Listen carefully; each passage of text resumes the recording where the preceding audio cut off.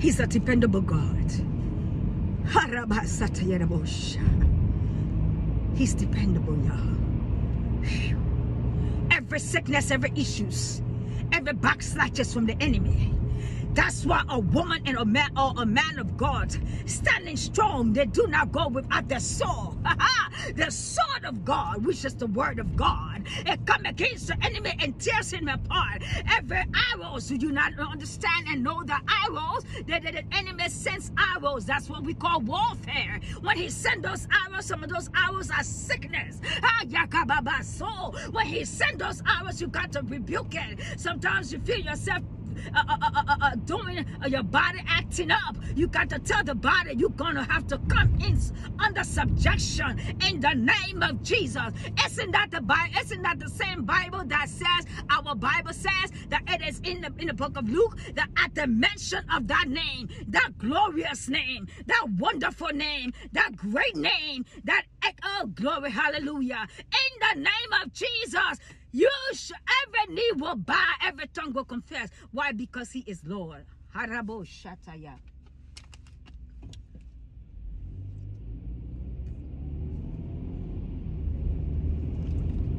No weapon. I speak over your life this evening. No weapon faction against you shall prosper. Every word formed against you shall be thou condemned in the name of Jesus. Every negative word spoken over your life, we cursed it to the roots this evening. Every negative thing that they are trying to do to you, that you will not move forward. I say, I speak to it by the power of the living God, and I cancel the assignment and the plans of the enemy. The strategies of God are very intense, and so when He come against us, we have to come against Him with the word of God. That's fire. I'm writing my second book. My second is called, oh, oh my God, it's called When Destiny, and uh, when Destiny meets with a, a, a, a purpose, when Destiny interact with purpose. That's why the devil don't want you to get to that next level. That's why the devil don't want you to reach where he knows that God has for you to go because it's huge, it's heavy. When destiny meets with purpose, it got to be fire because now you've went through all this hell. You went through uh, obstacles. You went through problems. You went through fire. You went through not having money to pay your bills. You went through all kinds of stuff. Now God said it is done. It is finished on the cross. It's done. You are getting ready to take your proper position in Him. Glory.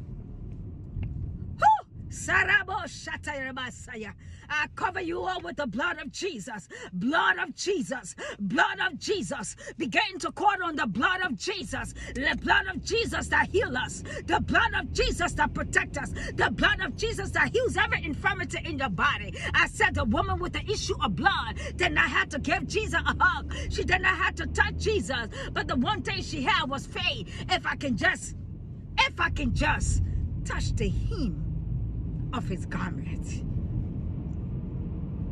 That's how powerful our master is. If I can only touch the hem of his garment, I shall be made whole.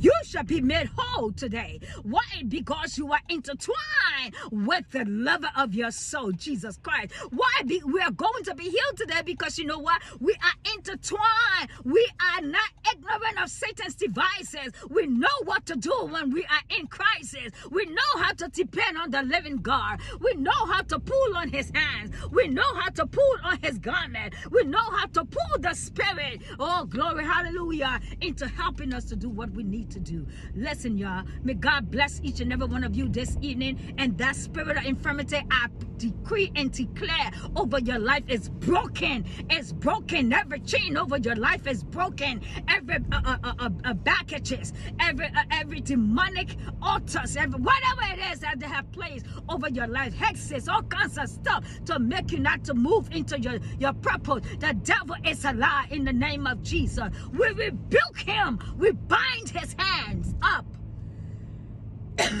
and we command him to go by faith in the name of Jesus. By faith, not by works. you heard me when I when I preached the other day. It's not